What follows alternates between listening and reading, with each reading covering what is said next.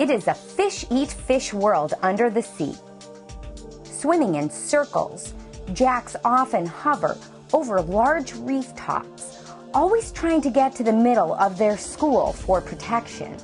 Giant tuna and even sharks will try and pick them off one by one, swallowing a jackfish whole if they can. When scuba diving, I like to try and school together with the jacks.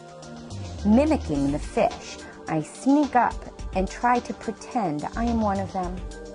I have to breathe really slowly because if I make loud noises, they think I am a bubble blowing monster and will swim away from me immediately.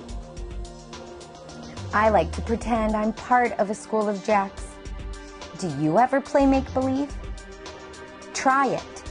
Dive into your imagination with me.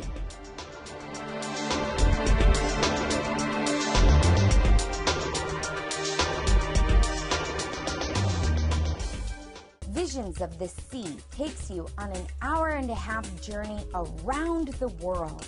Visions of the Sea was created for all ocean lovers by Visions of the Sea today.